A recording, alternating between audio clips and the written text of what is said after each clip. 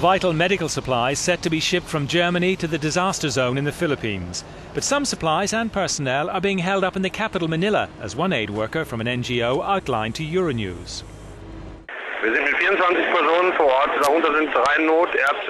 There's a team of 24 of us here waiting in Manila, and we don't know where we're going to be flown to. Three of the team are emergency doctors, while the rest are emergency personnel like paramedics and nurses.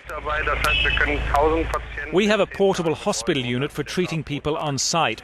We have the capacity to treat 1,000 patients in 10 days, which is about 100 each day. We can treat small wounds, we can deal with fractures, but we can also carry out surgery, like amputations.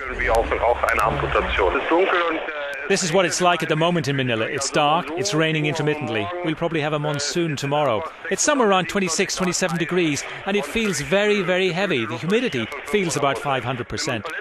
If in this heat and with the filthy water people's wounds aren't treated, they'll become infected. The polluted water can cause infections and blood poisoning very quickly, and that can lead to a rapid death.